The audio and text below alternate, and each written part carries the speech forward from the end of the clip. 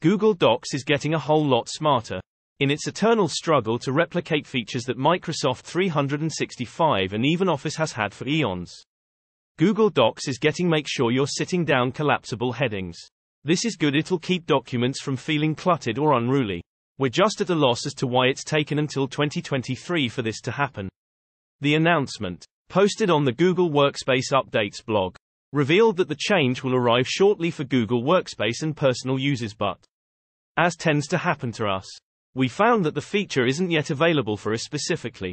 We're not being contrarian for clicks when we assert that Google software has always been behind the times whether it's deciding to chase the AI zeitgeist after Microsoft finds success in that space or still lacking reorderable headings in the document outline.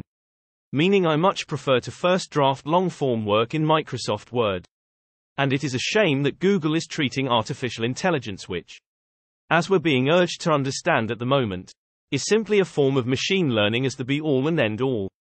The best way to enhance a productivity tool isn't to throw in features that trade on buzzwords and promises of a personal assistant to do your work for you. Less ambitious features, unconcerned with grabbing headlines but which are altogether more important at making work bearable. Google is obviously going for a little from column A and a little for column B with this approach.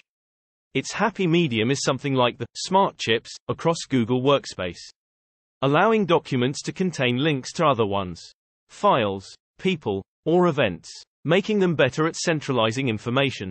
The smart chips are good. In that, smart here means convenient rather than literally sentient. I feel like I'm on a theme here, having written about the ills of AI in Office software relatively recently. But I might like to revise what I wrote there. It's not so much that I need to be dazzled by innovation to keep me conscious. I just need to be able to get through the day without wanting to throw my cloud-driven Office software out of the window.